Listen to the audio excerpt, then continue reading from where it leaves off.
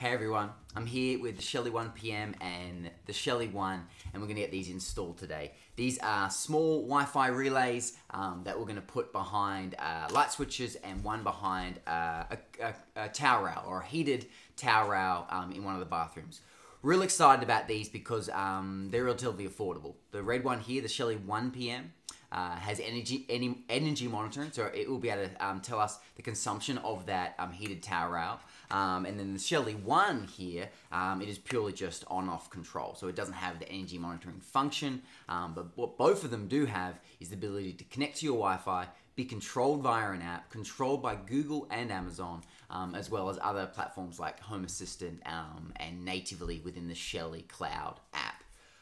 Again, excited because um, due to their price, we think we can see a lot of these being used um, in your average home, just setting up simple forms of automation to turn on and off um, towel rails or to control outside lights that didn't have you know um, any form of automation or you name it. You can put these really anywhere and their size allows you to do that. So very excited. Enough talking from me. Let's jump into it. Let's have a look at these being installed and then we'll set them up and yeah we'll see how they go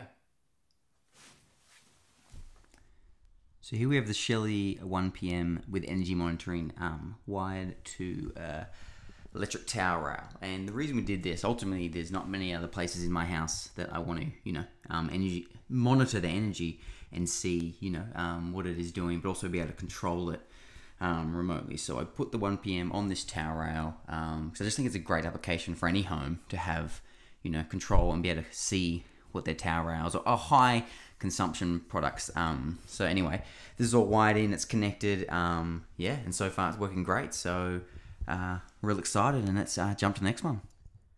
So of course, in my excitement, I forgot to uh, show you the Shelly one um, when the faceplate was off. But believe me, behind here, this four gang at the front door, there is a Shelly one um, hardwired to uh, this front door light just here. Uh, Alexa, turn on the front door.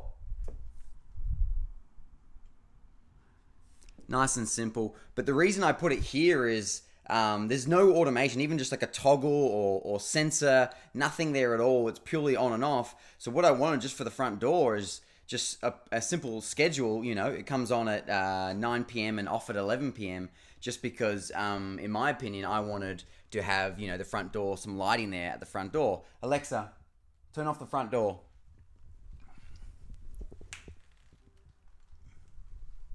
Anyway, that's the Shelly one at the front door. Simple automation, simple schedule. But uh, again, in my excitement, I, I, forgot to show you, so I apologize. So now that we have both those devices um, installed, they should jump into pairing mode automatically. You can see that um, red LED flashing. Now within the Shelly app on my smartphone, I can select um, which device. And in this case, I already have the towel rail connected. I'm going to connect the Shelly one at the front door. So I've selected that, it's looking for it, it's asking to join my network, I give it approval, and now it's currently searching for that device within the app. Um, boom, you can see there my TP-Link, it has identified a new Wi-Fi device and it's connecting that into the Shelly app. So again, you wait a little bit longer, just let it um, do its thing, and boom, one new device discovered, and uh, it's in the app now, and I can connect it um, or pair it to a certain room. So I've already got the bathroom set up. As you can see there, I have the towel out in the bathroom. Um, and there you can see the Shelly one, and I'm going to add it um, to a room. So I'll give it a name. I'll call it the front door. Naming it's pretty important because then that helps, you know, when you pull it over to voice control. Give it a device type or the picture of it. You can see there I forgot to give it, um, add it to a room. So I will um, have to add entry and select entry, which I already created. So um, entry, and now that is connected, and now it's wanting me to connect to the Shelly cloud. So ultimately giving me remote control of this device outside of my network. That's in, so now I have that device on the Shelly cloud, and I can turn it on and off very simply within the app. So there you have it. I'm jumping forward um, a couple days now, but that is just a taste of the Shelly range, just the Shelly 1PM and the Shelly uh, 1. But the Shelly Wi-Fi range of relays and, and sensors is quite large. Um, within Australia and New Zealand, there are only four um, high voltage products that are certified the Shelly Dimmer 2, the Shelly 2.5, the Shelly 1PM, and the Shelly 1. But their sensor and their low, low voltage range from the flood sensor, motion sensor, and humidity and temperature sensor, and a bunch of others, is you know um, with these and in the Shelly Cloud app, you can create quite complex automations with lighting, um, motor control, you know, other forms of uh, smart products. You can pull it into Amazon, Google, and then Home Assistant, and, and that will go even deeper.